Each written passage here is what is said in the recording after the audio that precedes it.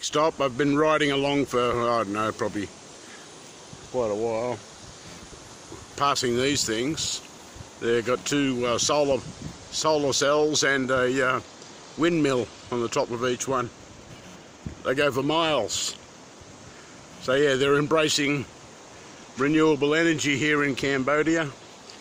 And another thing too, the main roads are amazing. There was a section that was a bit uh, bit rough back there, but um, basically, you know, uh, four four lanes either side of this uh, yellow and black concrete structure. But yeah, huge roads that I've been travelling between uh, Kampot and Kep. And here we are, some cows down here grazing by the by the ocean. Very pretty.